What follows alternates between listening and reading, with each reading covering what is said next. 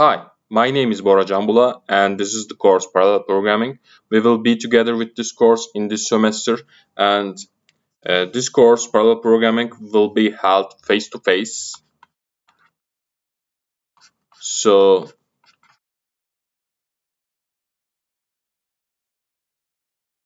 we will uh, complete this course in our classrooms in our faculty and it will be on Mondays and the morning session will be on the 9:30 a.m. and also the evening session will be on the 5 p.m. all right and also we can say it like 1700 all right and also I will upload some uh, videos some additional videos like this one to uh, provide some resources to our classroom who are not able to come to our classroom they can they can be COVID positive or uh, they can be in quarantine. So I will upload these videos to uh, provide to you uh, a brief summary of what we are going to learn in the classrooms. And uh, I want to say that uh, these videos will be about I think 30 minutes, but we will talk about the same subject in the classroom like two hours. So I strongly recommend you to come to our classroom, uh, which is C208. And it's a computer lab, as you know. And I strongly recommend you to come to our classroom. But if you are not able to come to our classroom, then you can uh, follow the subjects uh, by using these videos. And this is a course about parallel programming. And of course, this is a course about uh, HPC, which we call HPC, which stands for the high performance sorry. I want to delete this. High performance computing. High performance computing uh, is a term uh, which we can apply to the calculations, scientific calculations by using the computer and also we use it in web programming, in game programming. So uh, you are gonna need uh, this concept in your professional career a lot, I think. So it's an important course and we will learn uh, very good things, very fun things uh, to improve our algorithms, improve our codes, right? To get high performance from them. And today we are going to start with a very basic example, a very basic experiment, uh, I can say. And we are going to try to find the value of pi. And of course, we know the value of pi is 3.1415 and something like this and it goes like this. But we are going to try to simulate by using the Monte Carlo simulation and try to find the value. And uh, let's get started.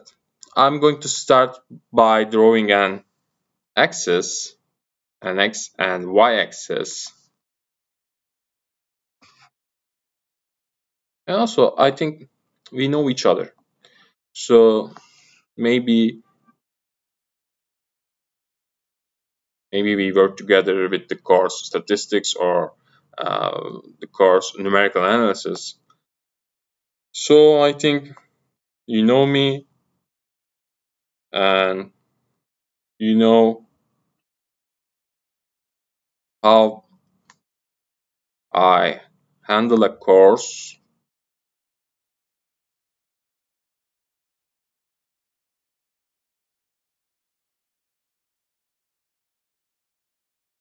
let's say that this is x-axis and this is y-axis all right?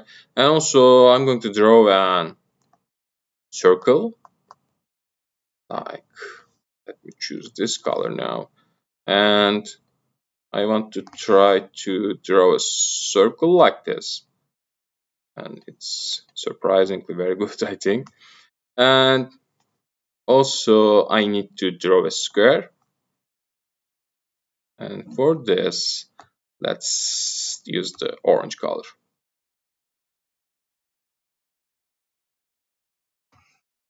Alright, like this one. Alright, let's turn back to black. So, this is a circle and this is a square. And this is x-axis, this is y-axis, this is the point with the x value 1 and of course the y value 0 and also this is uh, a point with the y value 1 and x value 0 and this is the value this is the point with the coordinates and minus 1 and 0 and this is the point with the coordinates with the 0 and minus 1 all right? So and also I think it will be good if we write like this. So this is the coordinates. 1 and 0 and this is the coordinates like 0 and 1 and this point has the coordinates the minus 1 and 0 this one has the coordinates 0 and minus 1 alright. So we have a circle we have a square. And I want to start with the start by calculating the area of the square. This square this orange one. So the area of this square let me call it a or let me write it in details. Area of the square we can calculate it by multiplying the length of the this edge. So I should multiply like 2 by 2 right? Because this edge has the length 2 and also this edge has the length 2 so it will make 4 and then I want to calculate the area of the this. Blue one and the area of the circle as you know we can use the formula which is equal to pi r square. And this r is diameter and this r is 1 so we have the value like pi. All right so we have the area of the square which is 4 and we have the area of the circle which equals to pi. And uh, I want to I want to run an experiment. So I want to throw some uh, points on uh, this structure on this square and like this one let me put here a point like this one. And this point has the coordinates like x and y. So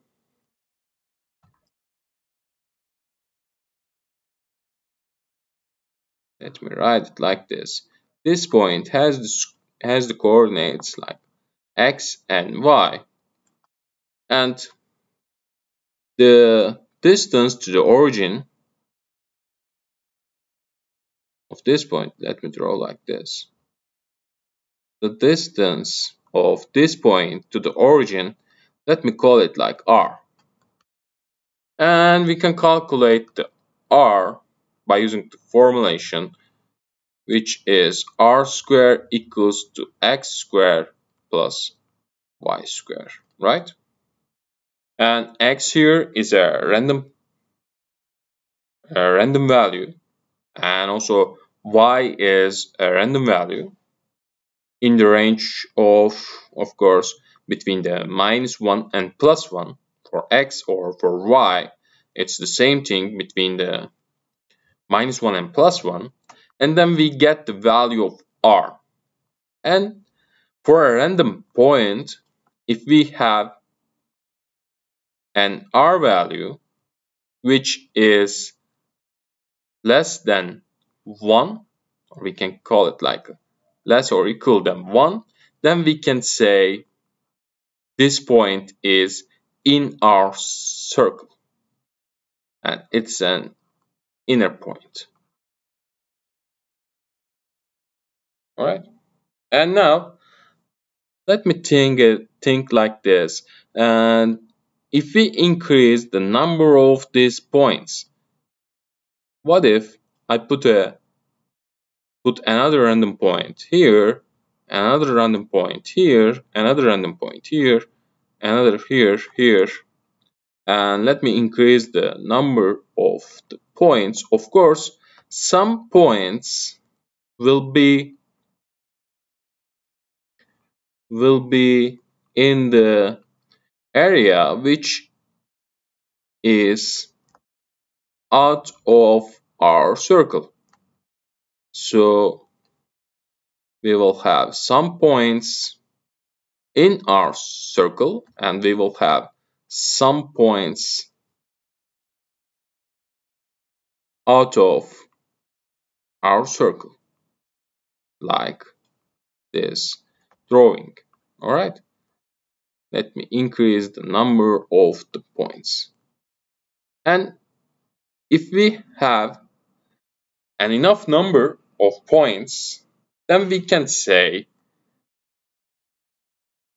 we can say let's call them uh, the number of inner points by using the letter i.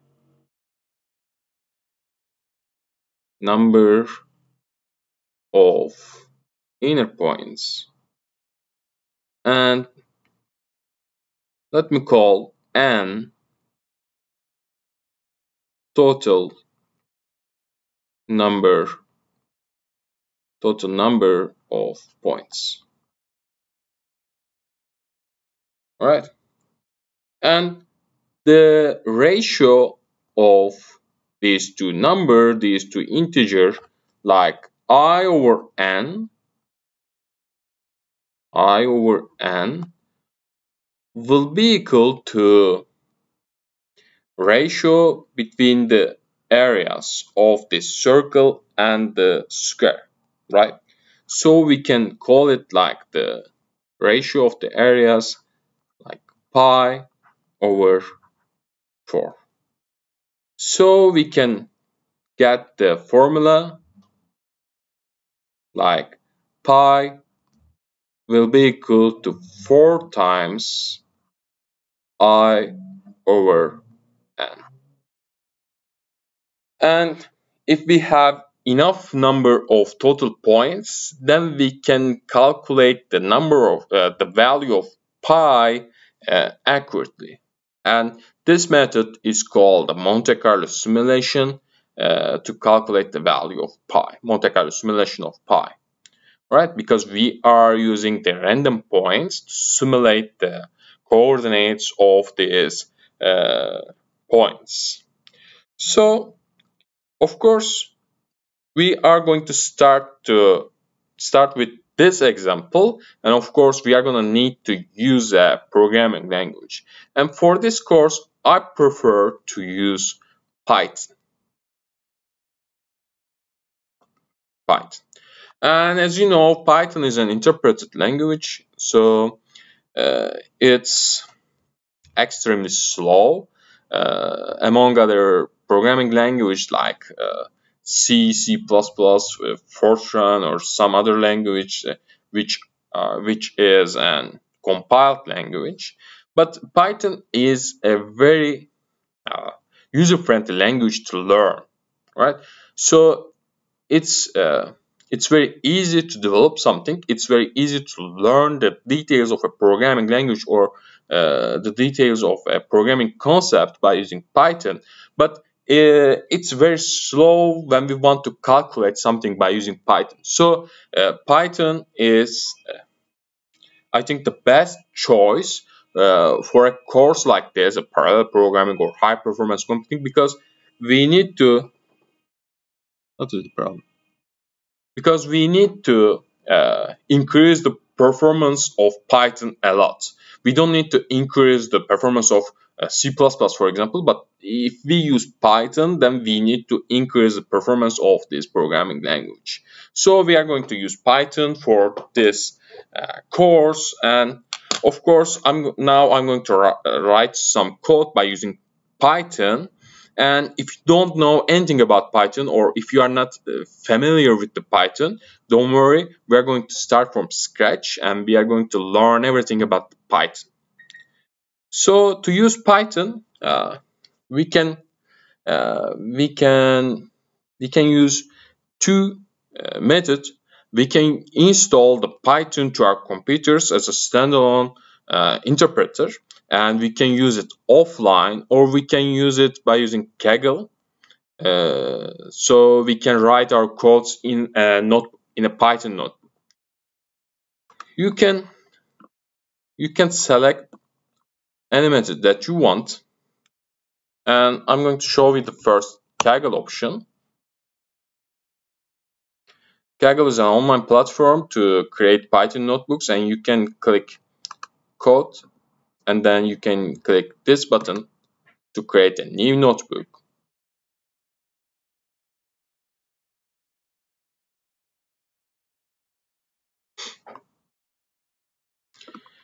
And this is a default version of our notebook and I'm going to click this one to add a code cell to my notebook and of course I'm going to start with a very traditional way to write hello world to the screen.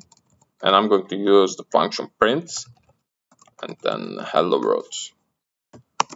Let me run the cell. Of course uh, uh, the first stat is slow in Kaggle.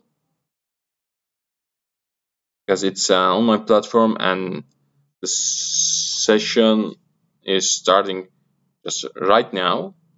And we are going to wait it and then we have our hello world here.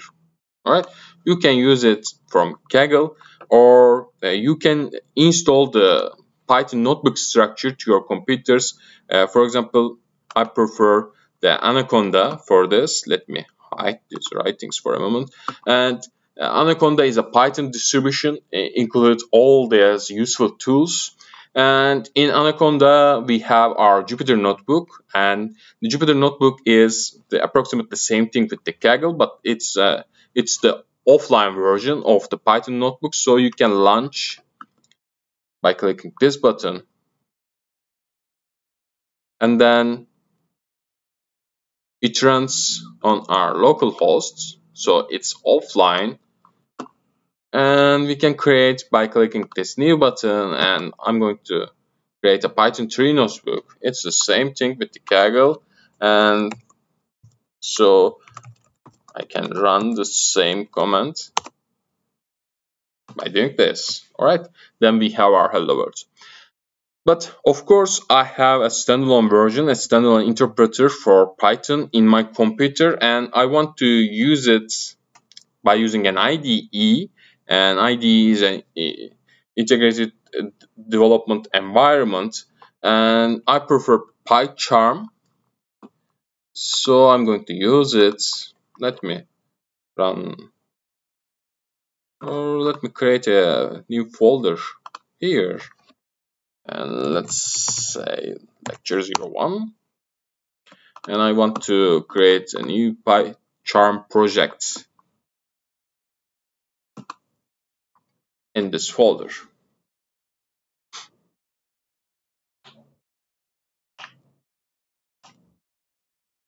So we have our problem. We want to calculate the value of pi and we need a programming language and we prefer Python. First, we are going to learn how to write codes in Python and then we are going to learn how to increase our code, increase the performance of our code in Python. I'm going to delete this codes now because I want a fresh start. So I have my main.py file and let me try the same thing but first I think I should increase the size of the font make it clearer for you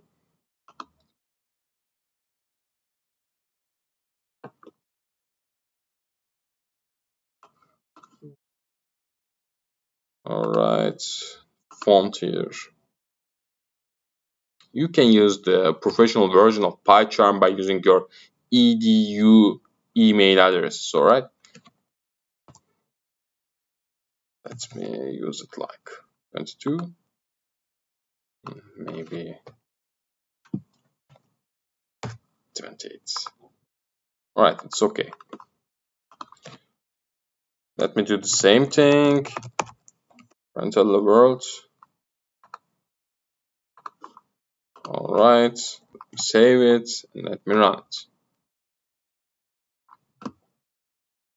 All right, we have our hello world here. So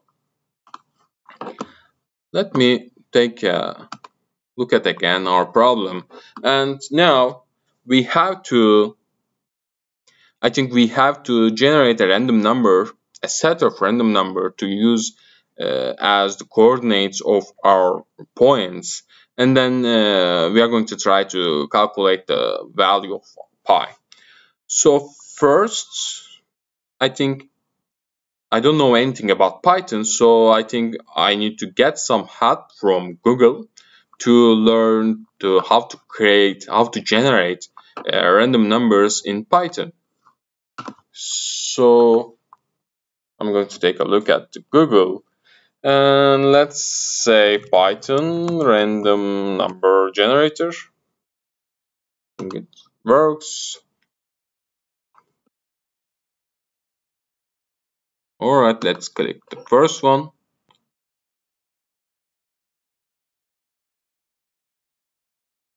It says pseudo-random number generator. So in programming language, we don't get the exact the random numbers. We, we can just get the pseudo-random numbers. Right? This is the first thing we should learn. And I see we have a library with the name random. Alright, for example, like this one, we can uh, generate these random numbers by using the range option. And I think this is a loop by using the for keyword. And this is the option for the generating the integer values.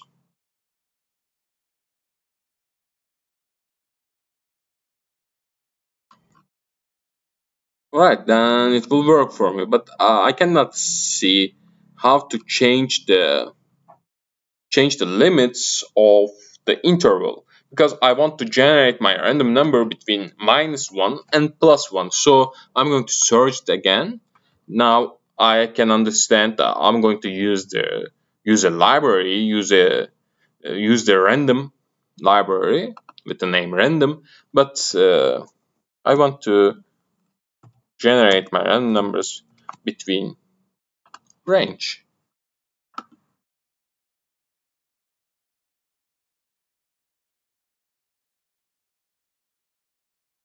I think this is the correct option how to get a random number between a float range and this is a float number. My coordinates are float numbers and I think this one will work for me. From the random class from the random library and I I assume that uh, you know the object-oriented programming right? So uh, I'm not going to tell you the aspects of the object-oriented programming like what is a class what's a library or what is a function what is a method but uh, I just try to learn something about Python and I see I'm going to use the random library and the uniform method of this library with the limits of the interval. Alright, I'm going to use this one. Let me turn back to my Py file, which is opened in the PyCharm. I'm going to first import my library with the name random. Alright. And then first I'm going to try to generate a number for x and from the random library I'm going to use uniform methods and I'm going to give you the limits of our interval which is minus 1 and plus 1 alright and let me check the value of x now.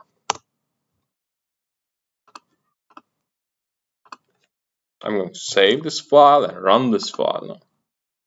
Alright, we have a random number I think which is equal to minus uh, six three one four two and goes like this. Let me run this again to get uh, another number if I did it correctly. So we have a different number now. We have a different number now. All right it works. So now I get to how to create. I understand to how to generate a random number between a range. So uh, I can generate a real number a floating number for the other coordinate which is y between the same range minus 1 and plus 1 now I have my two coordinates and I can calculate the value of r. So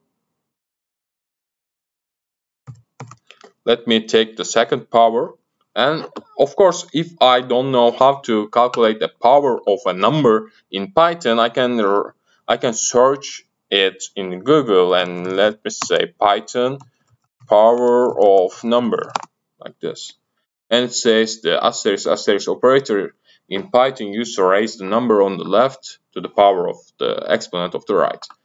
Alright, so it will work for me like this, x squared plus y squared. And of course, I should take the square root of this number, uh, of this result to find the correct value of r, but uh, it's an extra operation so I don't want to do this because uh, in the in the values which is close to 1 it doesn't matter. If I have an r square value which is below 1 so the square of this number square of this number is also below 1 and also I have a value uh, which is above 1 which is larger than 1 then the square of this number is also above 1 larger than 1 so I don't want to take the square root of this result uh, because I don't want to use another operation. Alright so now I have my r value and I want to I want to see the values of x. And I think I can use like this x, uh, y and r. And I hope Python will show me the values of all these three variables. And I want to run my code again and we have values like 0.85 and minus 0.04 and uh, 0.72 alright now I should check the condition. I should check the condition which is uh, if this value is larger than 1 or not. Alright, then let me turn back to Google let's say Python if else. I think this one will work for me. Alright, I know all these operators and there's a good example for me. If some condition and a semicolon and there's a top indent here. This is a very important point for Python. So in Python, we should be very careful about the indentions because uh, let me write the if condition first. If and also let me use it like this I don't have to calculate and store it in another variable and I can directly calculate x squared plus y squared here and less or equal than 1 and let's say that semicolon. And now we put a one top character alright? So this line is this line will be in our if block alright? This is very important for Python. You cannot use some some this parenthesis or something like this. It's not C, it's not Java. So you should use the indentions like this. So if we are in uh, the circle, then we can write print you are in. And also, of course, we can use an else keyword and then we can write you are out like this. Save it and run it. We are in because our value is 0.67 and then run again and we are in again, we are in again and now we are out. Alright, we have the coordinates like uh, minus 0.46 something and minus 0.92 something and we have our R value like 1.07 and then our point is outside uh, our circle, outside of our circle, outside area for our circle. So to calculate the value of pi now, uh, we should create a loop, I think, because we have to generate a lot of numbers. So I'm now I'm curious about the how to use loops in Python. So I'm going to search for Python loops and we have for loops and of course we have while loops. And if it's a numerical loop then we can we can use the for keyword and if it's a conditional loop then we can use a while uh, keyword. So uh, let me find a numerical loop Yes, like this one. And in this example, it says for x in range 6, uh, print x. In Python, uh, the, the index starts from 0. So in range 6 means uh, in the elements of 0, 1, 2, uh, 3, 4, and 5. Alright, we have 6 elements in the range 6 and we are going to start from 0. So it will loop with the x values 0, 1, 2, 3, 4, and 5. So I'm going to do the same thing. And of course, I'm going to start from here because all these codes should be in our loop and I'm going to use for keyword and let's say for i in range something for example like 100 I'm going to use the semicolon so if we put all these codes in our for loop, then we have to use the tab character uh, starting for the all these lines like this one. Then we can put them in a for loop. But uh, I think we don't use uh, an index, an integer like this, i, uh, to get the number of the loop, right? So we don't use, we don't want to use, we don't have to use an index now. And in Python, we can use an underscore like this with the for keyword if we don't want to use an integer for an index of our loop, right? So I'm going to change this i with an underscore and this part will run 100 times and it's okay. Alright. And let me change it to 10 and I'm going to run it to show the result. Alright, now we have generated 10 different 10 different coordinate sets and we have I think one outer point and 2 here, another outer point, and we have 8 points in our circle and 2 points outside uh, our circle.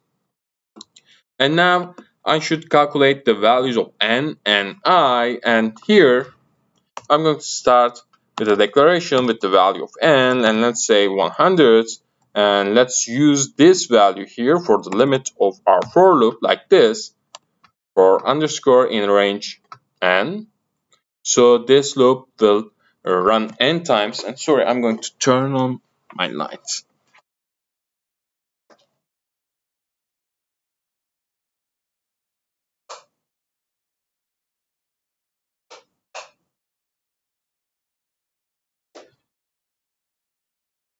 I think it won't help so much, but I think it's better now. Alright, so we have our loop, we have the limits n equals 100 and let me count the number of inner points. So I'm going to start from 0 of course and every time I catch a point inside my circle then I'm going to increase the value of i. So I'm going to delete this comment print you are in and I'm going to increase the value of i by 1.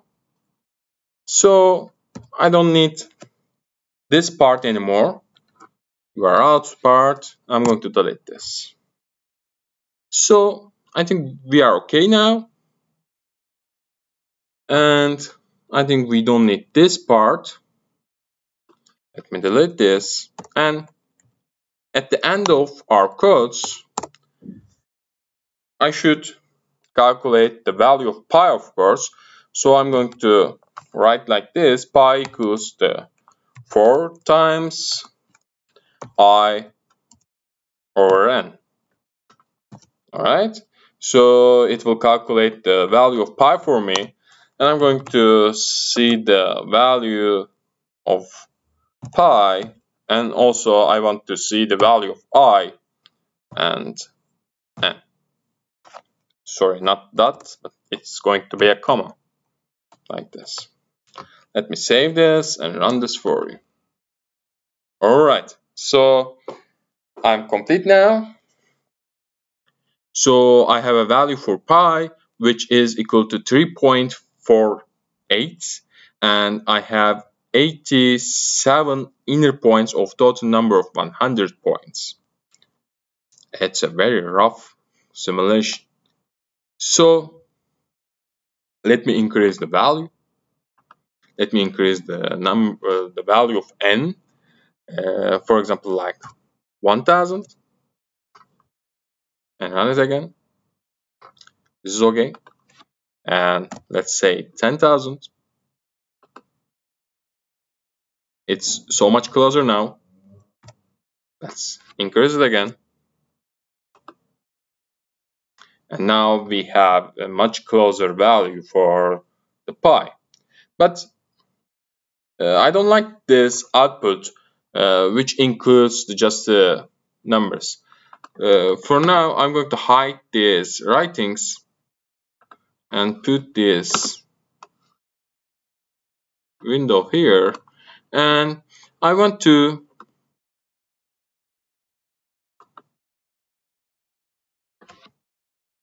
I want to see the results in a in a better way. So I I should I want to search for the for example Python print formatted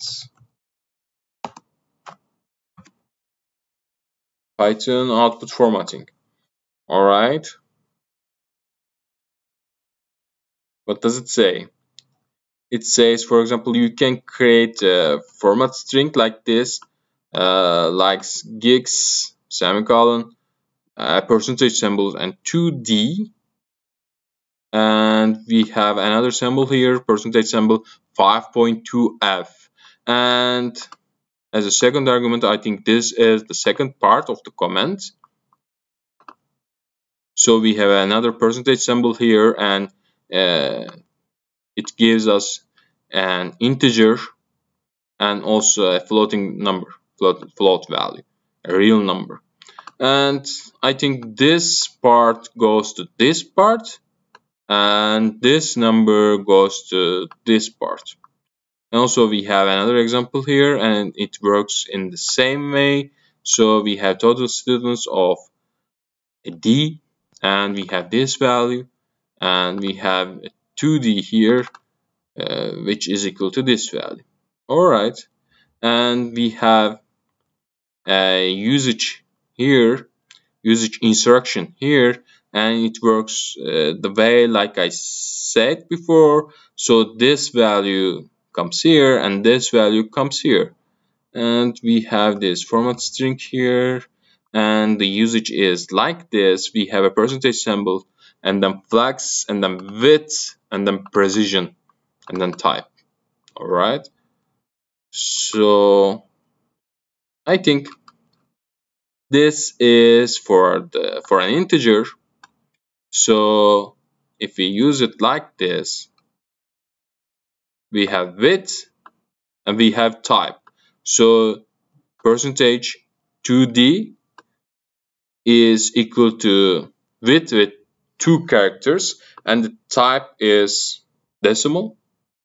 All right the type is for an integer right. And this is percentage symbol 5.2f is the width is 5 here and the precision part is 2 here. So we will have two numbers after the point and then our type is f and I think it's it stands for a float number. Alright we have all these numbers with the float numbers. So we should use uh, like this so I'm going to change it to like pi equals to percentage let's say 10.5f all right. And then the value of i of course we don't have all these numbers with the float numbers. We have two integers for i and n. So i'm going to use it i here. And i will be equal to a t. So percentage let's say 60 and then we have our n. Let's use 10d percentage 10d alright let's change it also to 10 10d and 10d alright so a double quote here and then a percentage symbol like this and then we have our values pi i and n Alright, let's run this now. We have these numbers now. So it's better. And also we have a warning from PyCharm here. We have two weak warnings. What are they? It says you have missing white space after a comma and the mark is here. So PyCharm is a very strict IDE so it wants us to put a white space here after the comma and we have we are okay now and also if you put just one line one blank line here so it will do the same thing. You know? It does this it does this. Not now but it does this. Let me run it again. It doesn't say it now but it says. All right so it's a very strict IDE to prevent you from making mistakes by making mistake, mistakes while you are writing Python codes. All right now we have our formatted outputs and these space are too much. What if I delete this part and just use the 0.5f and let me run it again and it works. Right so now the width the total width of this output is dynamical dynamic uh, but I want to see five characters after the dot after the point all right so this part has five characters length uh, width sorry but uh, this part is dynamic so I'm going to do the same thing here just use D and here I'm going to just use D. And again. All right. So now let's increase the value a little, 1 million. Again. Now we should wait and let's say 10 millions. And now we have to wait. So if it's about the performance, so if this course will be about the performance, so I'm curious about the running time of this script, of this Python script. So now uh, I'm going to try to I'm going to try to find the running time of this script. But first we should wait to the end. Alright, we have these values. This is a close value for pi. And let's search for it now. I'm going to look for the Python time interval. Alright. This one works for me, calculating time difference. Yeah, because I, sh I should, I want to get the time uh, somewhere like here at the beginning of my script and also I'm going I will do the same thing at the end of my script and I want to calculate the time difference between these two uh, times. So I'm going to click this one to see how can we do this. This one use the date time library and this one I think is okay so there is a library called time and also it includes a function, a method which is called time and we can get the start time and end time and then we can calculate the difference of these two time values. I'm going to do this. So I'm going to import the time library now, right? And at the beginning of my loop, I'm going to get the start time by using the time method of the time library. And at the end of my script I'm going to do the same thing end time which is equal to time dot time. All right.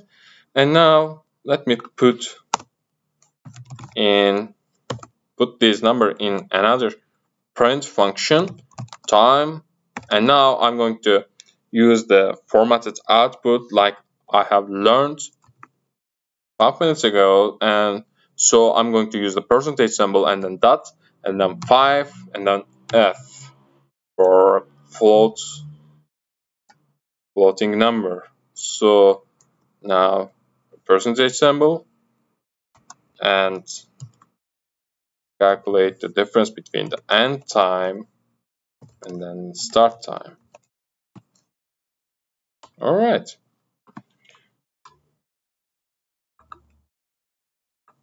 Let's give me the results. Save and run.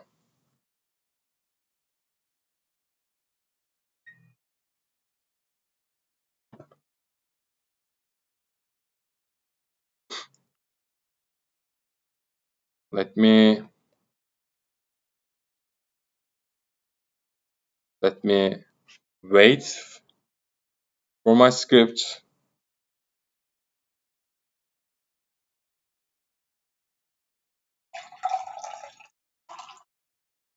How much? 24.7 seconds? Alright the time method of the time library actually gives us a time difference. A time difference between the and we can put comments in our codes by using this symbol or this symbol. This is the same thing. So the time method from time library is gives us the time difference between now and the January 1st of the year 1970 all right so we can call it like timestamp all right time spent time timestamp of uh, Unix systems. So we get the time difference from the January 1st from 1970 here and then here and then we calculate the difference of these two time differences to get the running time of our script. Alright, and let me delete this part. And I said you at the beginning of this lecture, I said you Python is a very slow language. Python is a very slow interpreted language if we want to calculate something. Let me check this now if it is or not. And I have an Ubuntu terminal in my Windows 10 and I want to write a Fortran code now to check it if Fortran is really faster than a Python script. And I'm going to do the same thing. I'm going to do, I'm going to write the same code, but of course in Fortran, and I'm going to use this n value in Fortran, 10 millions. I'm going to do the same thing. I'm going to do the same calculation, and I want to see the actual difference. So where am I now? pwd. I'm in my home folder. Let me let me create, a, for example, find py.f95 file, which is a Fortran source code file to calculate the pi value. So I'm going to use our lovely text editor vim and find py.f95 and now I'm going to start to write this code. Let's give a name to our program then end our program before I forget this. Alright, I'm not going to tell you all thing about this Fortran code because the subject is Python here, but I'm going to make it fast. So I'm going to define the integers because Fortran is a compiled language. So I should use an n, and i, and this i for uh, the inner points, and I need another integer for our for loop in Fortran because uh, we, we cannot use the underscore symbol in Fortran like we did in Python. So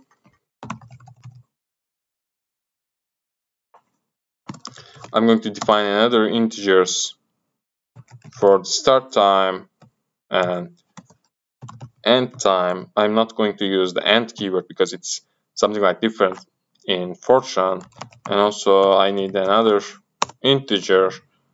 And I'm going to define the real numbers now floating numbers which are x y r and also elapsed which I'm going to use to calculate the time difference.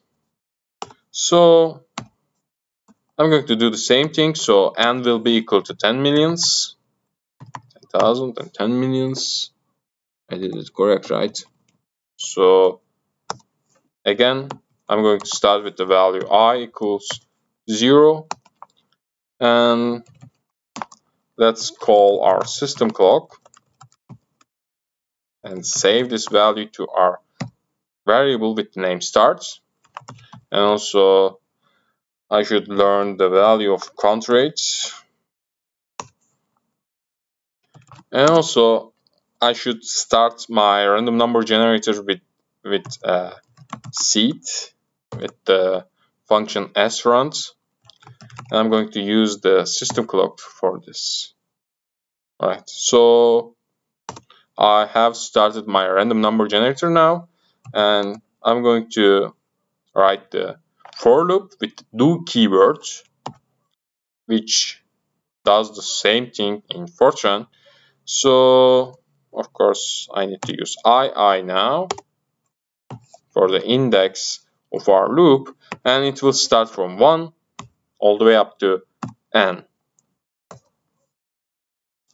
And then I'm going to generate a random number using the rand function but the rand function in Fortran will generate a random real number between 0 and 1 so I should transform the value to the range uh, starting from minus 1 to plus 1 so let's start from minus 1 with a double precision real number. So I, am going to use the minus 1.d0 it means double precision real number plus rands which is in the range between 0 and 1 so I should uh, multiply this value with 2 to get a range starting from minus 1 to the plus 1 so times 2 is 0 and then y equals to minus 1 plus random number between 0 and 1 of course multiplied by 2 then calculate r which is equal to x squared plus y squared and if we have a number which is less or equal so I'm going to use this keyword dot le dot it means less or equal than 1 and then we are going to increase the value of i. Alright so now i will be equal to i plus 1 and then and if and then and do. Here. And then of course we are going to call our system clock again to get the time again system clock. Finish. Now we can calculate the time difference to our elapsed variable. It's the difference between finish and starts. And I'm going to transform this value to a real number by dividing by double precision double press is 1 and then count rates. The details of this calculation is not important for you but I just want to complete my code now. So I'm going to do the same thing to put the output in a formatted way. So I'm going to use the write function of Fortran and let's say pi equals to it's similar but not the same f 8.5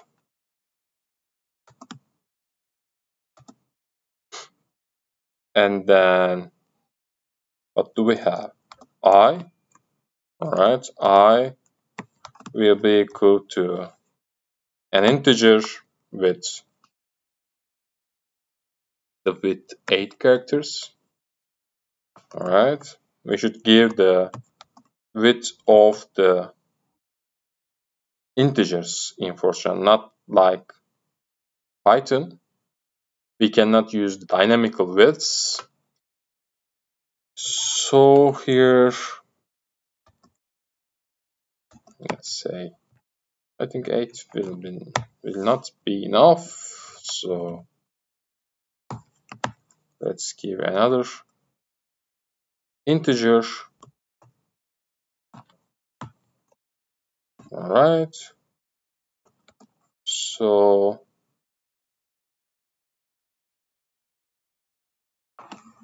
let's calculate the value of pi. 4 sorry 4 times i over n and then the value of i and then the value of n and of course I want to see the time difference. So now time sorry time is equal to something like f 10.6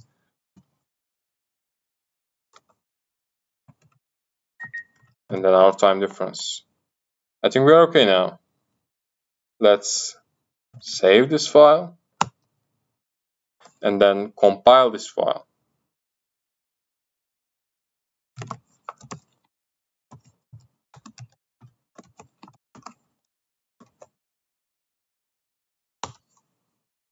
We have an error.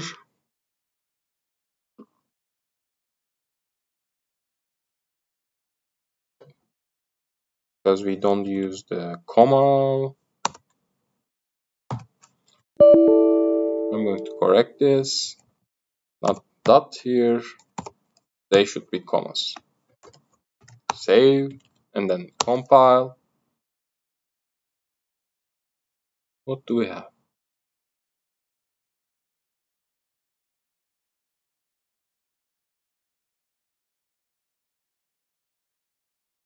Let me check it again.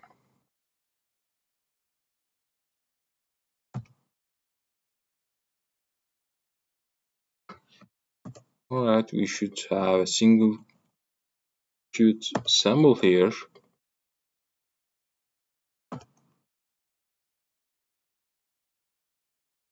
Like this. Sorry.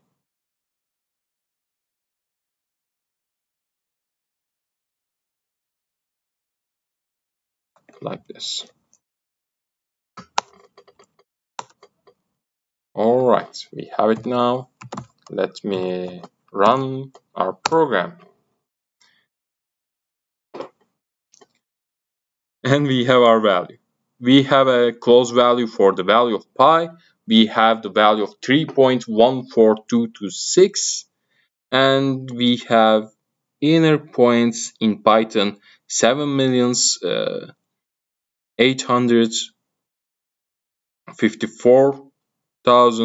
854,664 and here uh, we have a close value 8 uh, sorry 7 millions 855646 and we did the same thing 24 seconds in Python but 0.324 seconds in Fortran.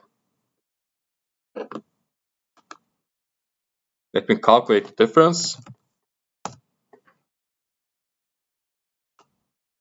So 24 point seven eight seven two two divided by 0 0.324. It's 76 times faster. So this course will be about this difference. So we are going to try to make Python this fast. Alright, so we are going to try to make Python this fast. We are going to try. So we will continue uh, with the next lecture. Okay, see you next week.